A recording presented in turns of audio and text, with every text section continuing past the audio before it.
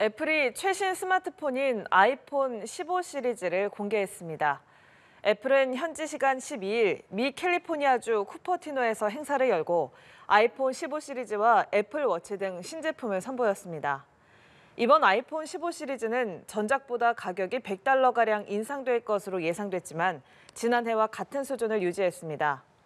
또 모든 기종에서 기존의 라이트닝 포트 대신 USB C 타입 충전 단자가 처음으로 도입됐습니다.